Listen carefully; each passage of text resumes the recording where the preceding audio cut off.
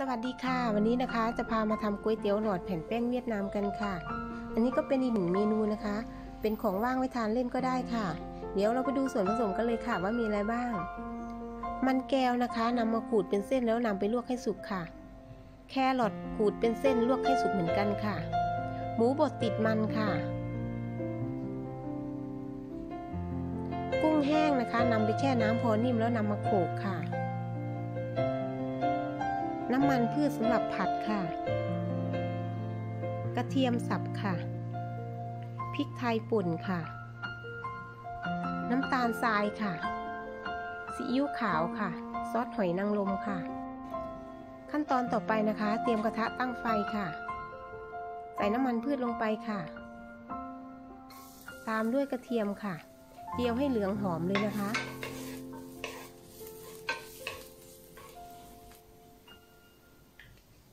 หลังจากนั้นเราก็นำหมูบดนะคะนำลงไปผัดพอสุกค่ะ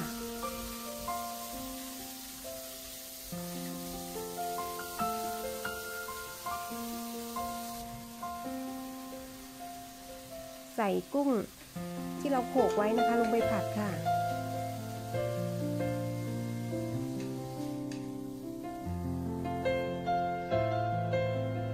ตามด้วยมันแก้วค่ะ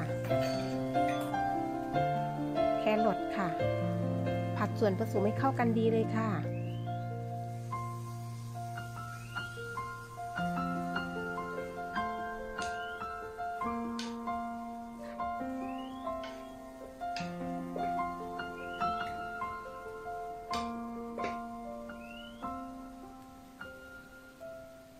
พอส่วนผสมเข้ากันดีแล้วนะคะ แล้วก็ปรุงรสตามชอบเลยค่ะ ส่ส่วนผสมทุกอย่างลงไปผัดเลยค่ะ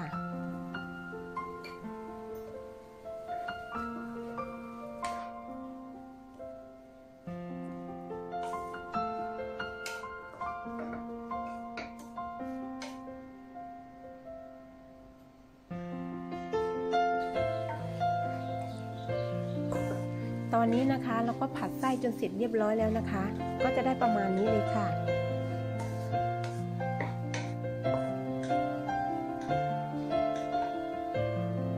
แล้วก็ปิดไฟพักไว้ค่ะ เราไปดูส่วนของน้ำจิ้มต่อค่ะ ส่วนของน้ำจิ้มก็จะมีน้ำส้มสายชูค่ะ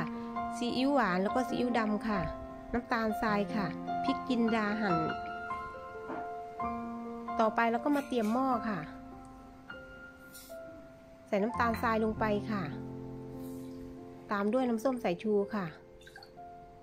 ซีอิ๊วหวานซีอิ๊วดำค่ะ นำไปตั้งไฟค่ะ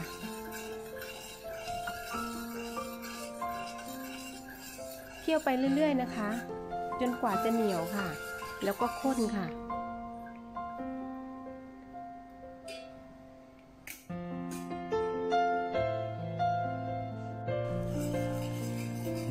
ตอนนี้นะคะน้ำจิ้มที่เรานำมาตั้งไฟก็ใช้ได้แล้วนะคะ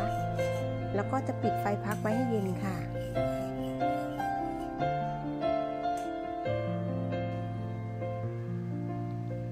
หลังจากที่เราพักไว้ให้เย็นแล้วนะคะ เราก็จะนำพริกนะคะ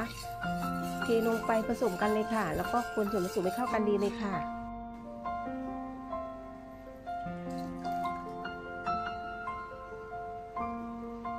ตอนนี้นะคะเราก็ได้ส่วนของไส้แล้วก็ส่วนของน้ำจิ้มเรียบร้อยแล้วค่ะ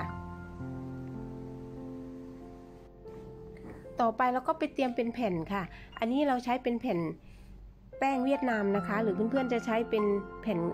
ก๋วยเตี๋ยวก็ได้นะคะ อันนี้แล้วแต่ชอบเลยค่ะ แล้วก็มาจุ่มน้ำนะคะ ให้นิ่มค่ะ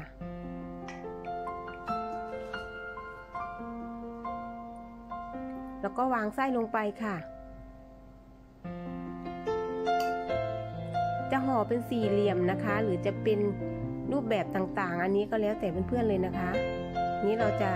ห่อเป็นสี่เหลี่ยมนะคะ ประมาณนี้ค่ะ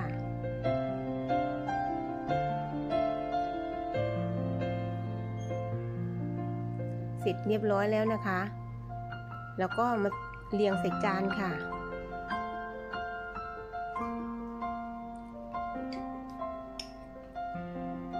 ตักน้ำจิ้มใส่ถ้วยค่ะ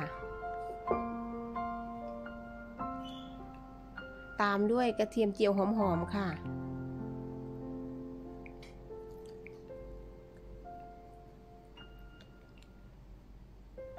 เสร็จเรียบร้อยแล้วค่ะ ก๋วยเตี๋ยวหลอดแผ่นแป้งเวียดนามนะคะทำไม่ยากเลยค่ะ ลองไปทำดูนะคะ คลิปนี้ขอตัวลาไปก่อนค่ะ เจอกันคลิปหน้านะคะ สวัสดีค่ะ